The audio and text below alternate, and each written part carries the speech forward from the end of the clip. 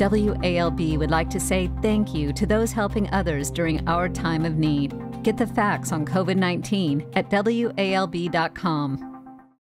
WALB would like to say thank you to those helping others during our time of need. Get the facts on COVID 19 at WALB.com. WALB would like to say thank you to those helping others during our time of need.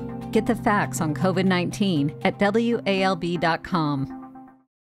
WALB would like to say thank you to those helping others during our time of need. Get the facts on COVID 19 at WALB.com. WALB would like to say thank you to those helping others during our time of need. Get the facts on COVID 19 at WALB.com. WALB would like to say thank you to those helping others during our time of need. Get the facts on COVID 19 at WALB.com.